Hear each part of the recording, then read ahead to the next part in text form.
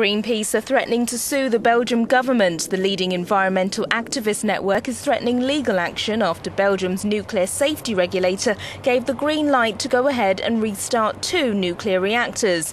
But Belgium's interior minister says the government doesn't have the power to block the move.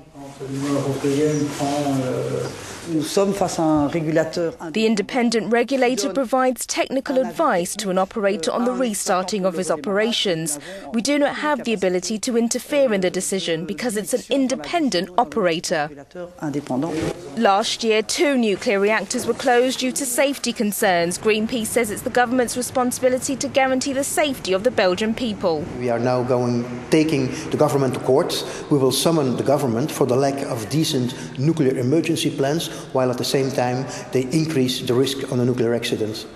But while a legal battle may be brewing, reactors Doel 3 and Tihange 2 could be back up and running within three weeks, now that Belgium's nuclear watchdog claims all issues have been resolved.